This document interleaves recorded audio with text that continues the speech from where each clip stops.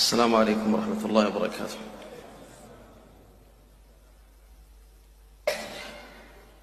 أعوذ بالله من الشيطان الرجيم.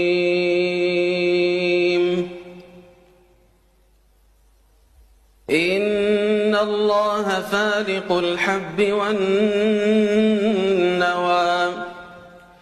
يخرج الحي من الميت ومخرج الميت من الحي.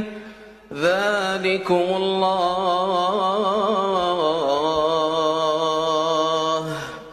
ذلكم الله فأنا تؤفكون. فالق الإصباح وجعل الليل سكنا والشمس والقمر حسبانا.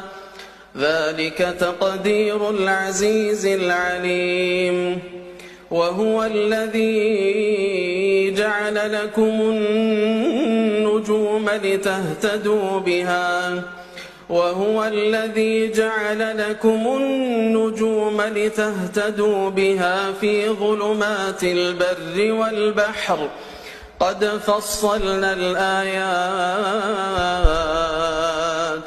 قد فصلنا الآيات لقوم يعلمون.